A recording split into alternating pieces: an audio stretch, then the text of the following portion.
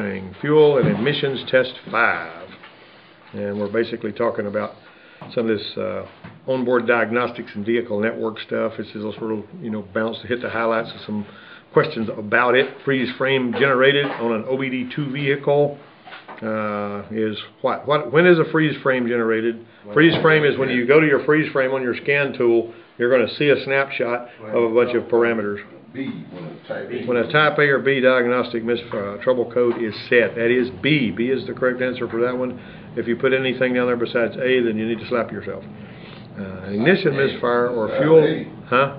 Besides A, Excuse me, that's B. Did I say, did I say that? I sure got y'all messed up. Y'all were gonna slap yourselves, weren't you? No, All right. Yeah. An ignition misfire or fuel mixture problem is an example of what kind of diagnostic trouble code? That's a type A misfire. If it's got a steady misfire, that's a type A misfire and it's gonna flash the check engine light. Now, there's other, you know, any kind of a, of a code that's gonna, that can damage the catalyst is a problem. You got me? Uh, the com- comprehensive component monitor checks computer controlled devices for what? Rationality, functionality, opens, all of the above. Uh, all right, now, somebody tell me again what rationality means. What's a rationality check? The, the computer just simply says, would this be happening, Yeah, that. that's a that's a good answer. Uh, more specifically, if the idle air control is commanded to open up, then the mass airflow should reflect that there's more air coming in. That's basically what it does. You know, and you may even see a code in some cases that will say uh, airflow did not increase when idle air control was, or something like that. You know. Uh, and it's, it's, it's a rationality check in transmissions, they do that. You know, like I was telling you the other day, if the drive shaft is spinning at the wrong speed for the engine speed and the gear that it's in, it'll tell you that's a rationality check of sorts. So, functionality means is it working at all? Functionality means, uh, you know, rationality means I gave it, I told the idle air control to open up. I saw the engine speed increase, but I did not see the mass airflow report that. See, that's rationality check. Functionality means I told it to increase the idle speed and it didn't happen. Yeah. And an open means I'm supposed to see somewhere between 1 volt and 4.6 coming out of that sensor and I see 0 or I see 5 volts. See what I'm saying? Uh, which basically that would be opens or shorts if, if you want to go that route. Uh, OBD2 has been on all passenger vehicles in the United States since. 1996 is basically the one that you're going to be looking at there. Uh, uh, but like I say, I've, I saw some uh, one-ton pickups that didn't have it until 98. Uh, which of these is a continuous monitor? A continuous monitor. Oxygen sensor monitor, catalyst monitor, fuel system monitor, or EGR monitor. Which one of those is operating all the time when the engine's running? C, A. the fuel system monitor. No, the oxygen sensor doesn't, the oxygen sensor is gonna not even be online for a little, I mean, for a few, well, probably ninety seconds after engine start. true, that's true. Ain't nothing happening, that's you. Ain't anything, so. Hey, Coach, the way you first said it sounded better than me. Ain't nothing gonna happen. All right, give that to the girl. Did I say that? All right. Now then, um, but, uh, basically a continuous monitor is, is only gonna be watching something that's supposed to be operating all the time. The oxygen sensor is gonna drop offline during open loop or whenever the engine is cold. Uh, the catalyst can only be monitored after a certain amount of time at road load at a certain temperature and all that kind of stuff. And the EGR is not working at idle. You got me? The EGR is only going to be working when you're cruising down the road with a warm engine at a steady cruise. Now, I tell you what, there's two situations where th- some things drop offline. Uh, at wide open throttle, you go into open loop fuel control and EGR falls out. And at idle, EGR falls out. So if you're at wide open throttle, uh, you know, the last thing you need at wide open throttle when you're passing a semi going up on a hill on the way from Enterprise is your engine controller jacking around with your fuel trim. You know, you need to just give it what it needs, you know, and all that. So you're not going to have that's that's that's an open loop mode when you're at wide open throttle. Open loop is only in relation to the oxygen sensor, though. Don't get confused about that. Oxygen sensor is being ignored in open loop mode. It's, it's looking at everything else except the oxygen sensor as far as an input. Uh, diagnostic trouble code P0302 is a what? I'm stuck on B, but Huh? Let's see. Say D. It's gotta be D because none of those other ones match that. That's actually, what, what does that code mean? What's a PO three oh two? Come on, guys. That's a misfire on cylinder number two, yeah, that's what that is. You ain't seeing none of the rest of them. It's g- generic. What defines it as a generic code? PO, PO. If it was P one, three oh two, which is- you're not gonna see that anyway. But anytime it's got the, look up there, see that? See how that little chart up there with the diagnostic trouble code set up? If that second character is a zero instead of a one, then you're basically looking at a generic code. You got it? Alright, so, let me see here. Global OBD2 contains some data in what format? All of the above. Hexadecimal. It ain't got no Roman numerals. I ain't ever seen no plain English in it. Yeah, but anyway, but hexadecimal's the right answer for that. By looking at the way diagnostic trouble codes are formatted, which DTC could indicate that the gas cap is loose or defective? A. P0221. B. P1603. C. P1301. D. P0442. D. It's gonna be D, let's go PO four forty-two. Uh, you know, four, the four series codes have got to do with air. You know, your EGR or your. Yeah, see that? You see how that thing's laid out? Might not be a bad idea, guys, listen to me. Take your cell phone and snap a picture of that. So you'll have it for reference, cause it's giving you, that, that little, that thing right up there on the wall, that is really a beautiful layout of how those codes are, are formulated. And if you can look at that and memorize those numbers, you'll know when you look at a code, you know, what's usually gonna be the problem, you know? But anyway, uh, in other words, as soon as you see a code, like if it's a seven hundred series code, like a P 7 or a P 17 whatever, it's transmission related. Got me? I mean, let's just give you an example of how that kind of thing works. And he heads up there with a his cell phone. Transmission diagnostic code. Yeah, yeah, take a picture of that little thing and use it for, per- for future reference. That's the handiest thing in the world. Huh? Cause I can't, can you can I copy it and? Yeah, I mean, you can, uh, I mean, I've, I've got that somewhere, I'll see if I can Okay. put it, on. you can just write it on paper, Yeah. you know, you I can have just, no memory. yeah. I got one picture and it's like. I was wondering how come you kept forgetting things. Okay, let me see here. The computer will automatically clear a diagnostic trouble code if there are no additional detected faults after how many? That's Charlie. Forty consecutive warm-up cycles. That's a kind of a generic number. You'd be surprised how many times, you know, the, the number of times it warms up is a, you know, a thing that, it- a counter that it uses for that kind of stuff. Uh, a pending code is set when a fault is detected how? The first fault of a true tip, two-trip failure. You may pull your codes and you may look, at when you, when you're looking at your codes, you may find out that you've got a, uh, code that's pending. It hasn't turned on the check engine light, but there's something coming. You know what I mean? Basically. Now, once again, it's gonna set freeze frame data when it finally sets that code.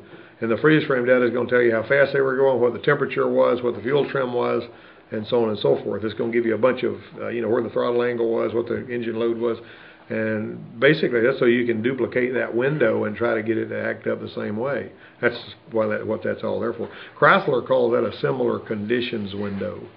All right, let's look at this now. Technician A says that when the MIL is on, the technician should retrieve the DTC and follow the manufacturer's recommended procedure to find the root cause of the problem. Technician B says all OBD2 monitors must have the enable criteria achieved before a test is performed. Who's right about that? That's basically C. Both of those guys are right. Whenever you're pulling a diagnostic trouble code, guys, this is how you do that. Let's say that you're working on something and it's got several diagnostic trouble codes in it. When you first open up the scan tool, you plug it in, you go to look at your diagnostic trouble codes, you see a big, you know, laundry list of them in there. Like, you know, 10 or 8 codes or 6 codes or 5 codes or whatever. The first thing I'm going to do, and the scan tool has got the capability to save those, but I don't trust that. I'm going to have me a piece of paper here, and I'm going to write down what those codes were. Got me? I'm putting them down, so I'm not. I'm not to try to commit them to my memory, because like Joe, I may not remember them. See? All right, so I'm writing these things along here, then I'm going to lay them aside, and I'm going to clear those codes, and then I'm going to drive it again on a nice, you know, 10, 15 minute test drive, and I'm going to see which one of those codes came back. the one that comes back on that test drive is gonna be the one you need to attack first. Now, if you just pull the trouble code and then you dive in there and start trying to fix it, it, that thing may be a fluke and it may have been on its way out anyway. So you're wanting the one that's gonna return, see, that's gonna give you the one that's the most pressing. That's the way that's supposed to be. let, let me ask you this, okay, like on my Ranger, it gave me a list of codes, about eight of them. Mhm. And then it came back and gave me two of the ones that were from the top. I think it said something like living codes and then it said. Yeah, you've got, you basically on that Ranger of yours is old enough to where it's got a, uh, there's a separator code in between the on-demand and the continuous codes. And the separator code on that is a ten. In other words, if you've got, uh, if you got the old three-digit codes before these Ps came out, you know, like on that Ranger, uh, you'd get like a, a one eighteen, a three thirty-two, and whatever all these other codes would be. It's gonna give you each one of those twice. Uh, And then it's gonna give you a one with nothing after it, which is a ten. And everything after that ten is gonna be your memory codes on those older Fords, like you got. Like on the Escort that Melindy's building the engine on and all that stuff. But one way or another, you could, even in that case, the on-demand code is what's wrong right now, that it knows is wrong right now. The memory codes are what's not wrong right now, or that it can't check right now, but it saw something wrong with. You got me? Like a lean condition that was present and isn't now, or something like that. You wipe those codes out, and the way you do it is right after that ten flashes, you you take it out of self-test, and that clears all the codes out on those older Fords. That's how you do that. Uh, uh, anyway, um, and those little E3 systems that they used to have on the old Lincolns when I worked at Lincoln Mercury in the early eighties, uh, the, the barometric pressure sensor had two hoses on it. One of them went to the, at a vacuum, it was going to the engine, and one just had an open port that went to the atmosphere for barometric pressure reading. In those old days, a big old eight hundred dollar sensor about this big. And, uh, so we would take and pull a vacuum on that barometric pressure port for a certain amount of time, and then it would start, you know, switching the uh, solenoids for the air pump back and forth, and that's how it gave you your codes. And I built a little box. The first time I ever built a tool that was a box with lights in it was in 1983 uh, or 84, whenever it was I worked over, and I would hook that up to that little diagnostic connector on the fender, and it would go back and forth and do a dance, and I could figure out those codes when they started flashing together. I'd count them. That wasn't in the book anywhere. I just had to figure that out. I mean, you know, they did have a little, a couple of little items in the book, but they didn't give you what you needed, everything. They give you some code stuff, but it, they were, they learned, later they learned better how to write shop manuals, you know. Okay, so let me see, um, let me see, let me see. Uh, where are we at? What did I, what if we? Twelve, uh, the malfunction indicator light is turned off under any of the following conditions except what? A, power to the PCM is disconnected. B, codes are cleared with a scan tool. C, PCM diagnostic link is grounded. Or three, or D, vehicle has driven three consecutive trips with a warm-up cycle without detecting a fault. That's C, basically. Diagnostic link is grounded. What's up with that? Uh, let me tell you something else about these things too. On some vehicles, on Fords particularly, but not necessarily GMs, and I'm not sure about all of your Chryslers, if you, you know the reference voltage wire that's coming to your sensors, the five volts, if you short that to ground, you won't get no codes, you won't get no spark, you won't get no fuel injection, and the, and the engine controller will be completely asleep. If it's shorted to ground. So if that wire rubs to ground somewhere, and you're sitting, and you, you know, you coast off the side of the road with your scan tool plugged in, it's gonna say, I can't talk. And if you've got a shorted, if your PCM ain't talking, because maybe it ain't powered up, or the five volts is shorted to ground, or whatever, on one of the vehicles that's like that, then the scan tool is pretty much worthless. You may, I don't care what kind of scan tool you got, you may as well throw it in the seat and go out there and find out what's wrong. You know, if it won't talk over that link, you know. One guy had his Ranger in there, and he was gonna wire up a radio or something, and he went under that data link, and he said, I don't know what this is all about, but I see some power and ground here. He just cut the wires. and wired his radio. so you had a diagnostic, I mean, a DCL with the little stubby wires sticking out, not going anywhere. Mm-hmm. Well, that's a fun job to straighten out, but anyway. That's like the guy when we first started getting titles in Alabama that got a title in the mail to his truck, and he said, "Oh, what this is?" and he threw it in the trash. The, the little farmer.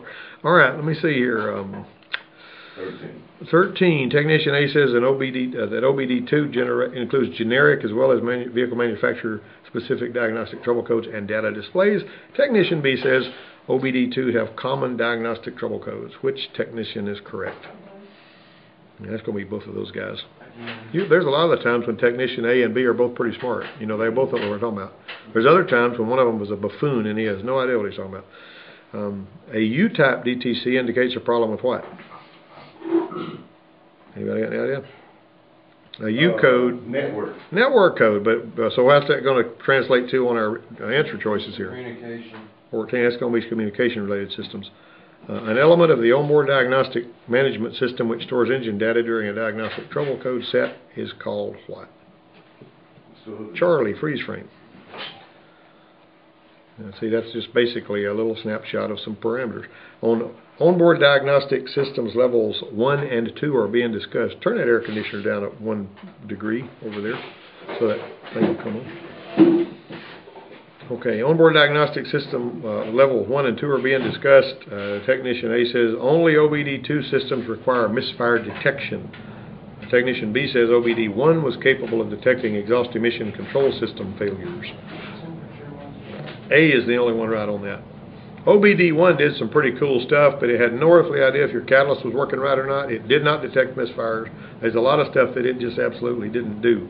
And basically, we needed to do better than that. My wife said at her bank window, this old truck pulled up out there yesterday. It didn't have, obviously, the emission controls, it was an old truck with a carburetor on it. The emission controls didn't have any, I mean, we're not hooked up anymore or on it or something. It was set out there and it idled for a while while she's having to wait on them. And the exhaust from that truck came in that uh, drawer that she slides out and filled up the whole bank. It's just nasty. She said everybody, everybody from even the business, I mean, from the uh, proof department was coming back there wanting to know what this smell was, you know. But that's one of the reasons we need these emission controls because things used to be like that all over the place. Um, let me see, uh, and I remember when it was like that. uh, okay, let me see. Uh, element of the OBD2. No, never mind. I went went past that. Uh, in an OBD2 system, when all enabling criteria for a given diagnostic test is met, diagnostic is met, is considered which of these terms? That's a trip. It'd be tripping, yeah. Technician A says, warm-up cycles are used to erase diagnostic trouble codes and freeze frame data. Technician B says OBD2 requires the diagnostic system to monitor all emission-related components and systems. Which technician is correct? That's C, both of them. See, both of those guys are pretty smart. Yeah, which organization developed guidelines for OBD2? EPA and CARB. That's an Environmental Protection Agency and the California Air Resources Board. Which of these is checked during an OBD2 functionality test? Functionality test, remember what I told you the difference was? How about transmission shift solenoids? That could be it. Huh? That could be it too. Yeah, she was, she checks those for functionality. I don't know why it feels so hot in here today. It's Uh, only you, 'cause I'm freezing. I don't know, and I'm not even drinking hot coffee either. Uh, Technician A says module communications networks are used to reduce the number of wires in a vehicle. Technician B says that a communications network is used to share data from sensors which can be used by many different modules. That's, uh, that's C, man, that's C, that's C. They're gonna reduce the number of wires on a vehicle, because if you're able to share data, you get what I'm saying? If you're able to share data, you don't need as many wires. I will tell you this, though, in spite of everything else, it's kind of like uh, when my mother, my mother likes books, and so my dad says, all we got to do is put a new shelf up, and she fills it up with books. And all of her shelf bookshelves are full, and I can put another shelf up there, and she'll fill it up with books too. Well, what they've done is it reduces the number of wires, but all they did was say, hey, now we've got more room, we can put more stuff and more wires. You know, and I was showing somebody the other day how F-35B Joint Strike Fighter uses like six million lines of computer code, you know, and uh, the 2010 model Ford Fusion or something uses um, like 200 million lines of computer code. These cars are using more computer code than fighter jets. You know? All right, so. So let's just put guns on them and send them out to war. Well, we don't hardly ever do that because the, uh, the, the fighter jets, uh, they don't have as much to do as the car does, you know what I'm saying?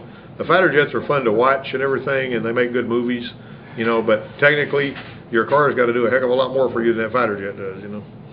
Uh, uh, twenty-two, a module is also known as a what? Bus. Bus.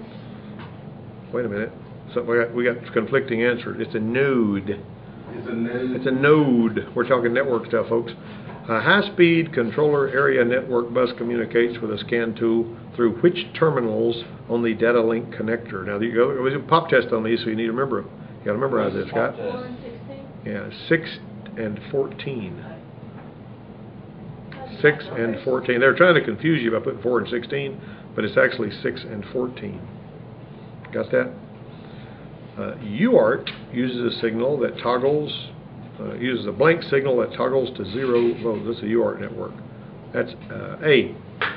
Five, five to zero volts. It toggles back and forth. And, uh, okay. Number twenty-five. GM Class Two communication toggles between what? Eight volts, zero to eight volt, I mean, uh, excuse me, what am I saying? Mm. I'm all screwed up, I'm all screwed up, excuse me, that's, that's number twenty-five, isn't it? Like I was looking at the wrong set of, uh, choices. Somebody guess at it, tell me what you think. That's gonna be C anyway, zero and seven. Which is close to eight volts, come on. Yeah. Which terminal of data link connector does General Motors use for Class Two communication? Class Two communication is, you know, still, you know, fairly widely used in our later model vehicles too, You though. said two? G? Number Twenty-six, it's gonna be, that's gonna be, that's gonna be two, yeah. Uh, GM LAN, GM Local Area Network is, uh, General Motors term for which type of module communication? That's A, yeah, that's the high-speed CAN. Um, Okay, CAN H and CAN L operate how? Now, this is something you're gonna have to memorize too, isn't it? CAN H goes to three and a half volts when transmitting. CAN H is at two and a half volts when not transmitting. CAN L is at two and a half volts when not transmitting. Can you remember all that? Are you confused yet? That's gonna be All of the above. Twenty-nine, which terminal of the OBD2 data link connector is the signal ground for all vehicles? Four. Four, very good. Garrett? Thirty, terminal sixteen of the OBD2 data link connector is used for what? Twelve volt positive. Twelve volt positive, very good. You go there, you're gonna know which one it is.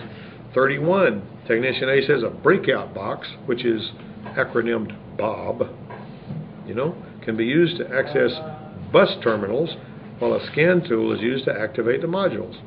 Technician B says a 38 cavity diagnostic connector is found on many BMW and Mercedes vehicles under the hood. Who's right about that? Both of them are right. The, the German car people uh, started that. I remember back eons ago, Volkswagen used to have a big, I mean, bugs, the old bugs. Not the real old bugs, but the ones that were made later on. 70s? They actually had, yeah, they had a big old diagnostic connector in the engine compartment that you plugged a machine in at the Volkswagen dealership. The bus had that too. It was kind of silly because all you did was say yes and no. You know, this yes and no stuff. And the MS seventeen hundred scan tool that we used on Renault's whenever I, we got the Renault franchise, they would, the thing would say, it would ask first one question and then another with you saying yes or no, and that little thing going across there. And you could also look at data and all that, but you just had one line, you know, it wasn't really all that great. This is old technology. And what was so dumb about it was when you were troubleshooting something, it would ask you a bunch of questions, and if it got to the end of its thought process, if you could call it that, it would say, engine failed to start because of fuel mechanical or ignition problems. Well, I knew that before I ever opened the hood, got me? And one time there was a guy, a training guy, on one of these videos that he put out there, and he was explaining this.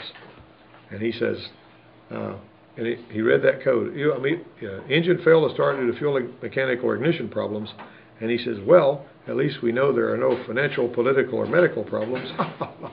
I mean, this was a trainer on the tape, you know, it was dumb. But anyway, uh, we kind of got past all of that, fortunately. All right, then. And I forgot which one I'm on. The process of sending multiple signals uh, of information at the same time over a signal wire and then separating the signals at the receiving end is called what? That's multiplexing. Um, do we have anything that we do that with on our regular personal computers? Nowadays. An external, and I'm talking about a regular computer like this one right here. Well, mean sort of, but I mean, like, I'm talking about something you use. No, I mean, that does this. It actually uh, sends multiple signals of information at the same time over a signal wire and separates the signals to receive it in. Which, which, which one of your inputs to your computer does that? Huh? USB port, listen to that guy. All right. Now, let me tell you this. I go home the other night. I'm digressing a little bit here, but I do that sometimes because I'm the boss and I can. But what happens is, I go home and I boot up my computer, and I don't, I don't buy computers, I build my computers, you know. My wife's computer I buy, my computers I build. She wants me to buy her one, but I build mine. So I punch this thing, and it comes up to the splash screen, which tells you which motherboard you got and all that hogwash, and it stops. Oh, yeah, I remember reading. Remember me reading about that? Yeah, I read it. That irritated the crud out of me. I said, this is a non-linearity. You know, you go home, I'm gonna boot my computer up, check my email. Uh-uh, no, you're not. And it turned out the dadgum serial bus was shorted coming from my scanner. When I unplugged the scanner, it boot up. I put my backup computer in there, plugged everything into it, and it did the same thing. And I said, no, wait a minute. I knew that sucker was working before. There's gotta be, you know, so anyway, when I started unplugging the USB stuff, because USB, sometimes you'll have a jump drive plugged in, and it'll try to boot up on that jump drive, and it just goes south, and you'll think, my computer died, ah, you know how you panic and everything, you know, and you got all this stuff, you're trying to get your bills paid or something. All right, but anyway, um, that's, that, that was just, hmm, got to me. Burned my whole evening. Let me see here, what we got here? Thirty-three. Thirty-three. Low-speed networks operate at less than how many bits per second? What is a, uh, what is a, well, actually, it's less than ten thousand bits per second. Um, you were thinking really low speed, weren't you? All right, uh, what's a bit? I know that is. My computer class told. Uh, Well, if you're using eight-bit code, huh? Something smaller than that. Yeah, how many, how many bits makes a byte? Eight, How do you spell byte? B Y T E. B-Y-T-E. BYT. Anytime you're talking about communication, like, you know, if you've got your, uh, how fast your connection is, it's always bits per second, not bytes per second, you know? But it's really easy since they use, you know, you know, the, uh, the B for both of them. Uh, remember the binary code thing I gave you? Yeah. Each one of those values is a bit. It's like letters in an alphabet, sort of, but there's only like, and it's gonna be an off or an on. That's what digital's all about. Everything's ones and zeros, you know, it's either off or on. And when they broke the code in World War II, the Japanese code, they used a bunch of relays, you know, somehow or another. They made the first computer that way, and it would click, click, click, click, click, click all those relays off and on, you know. Anyway, uh, and that's what, basically what these are doing, they're turning off little tiny transistors off and on. All right, let me see, uh, the UART data bus operates at a baud rate of what? Eighty-one and It was Anybody know? That's B, isn't it? Yeah. Yeah, what he said, okay, right. All right, that's ten thousand. No, I mean, excuse me, eighty-one ninety-two, I read- I looked at the wrong line. Which of these commonly designated D2B is an optical bus system connecting audio, video, computer, telephone components in a single ring structure with a speed of up to five million, six hundred thousand bits per second? That's C, that is a digital, a domestic digital bus.